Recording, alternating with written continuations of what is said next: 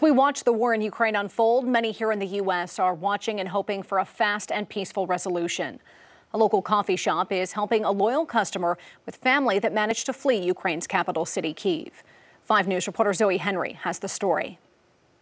As we wrap up another week of watching Ukraine in turmoil, there are many watching anxiously with concerns for their family and friends.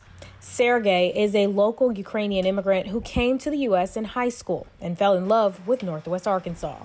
And went back home and then ended up coming back and um, got citizenship. Sergey left behind his family. He didn't feel comfortable sharing much more information about himself or speaking on camera. Before the conflict broke out, the Wicked Bean coffee shop in Centerton named a drink after him for his loyalty. It's called the Crazy Ukrainian, and we've named it after a very good friend of ours. It's an extravagant frappe drink with caramel, whipped cream, and a burst of sweetness. The shop returned that loyalty when they learned Sergey's family was still over in the Ukraine and recently escaped the capital city of Kiev. It's a humanitarian crisis, you know, and no matter where it's at or who it involves, you know, you never like to see something like this going on.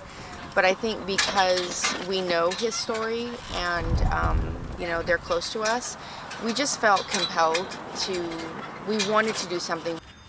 20% of the proceeds from the crazy Ukrainian are going to Sergey's family in the Ukraine. And as of Friday morning, the shop sold 167 crazy Ukrainians. We honestly thought, you know, we'd raise like maybe $500. Like we we had no idea that it was going to be this huge and it's amazing. I mean, it's just it's taken off. The shop owners say even the mayor has joined in to boost fundraising, setting the goal to 1,000 for the end of March. In Centerton, covering news where you live, Zoe Henry, 5 News.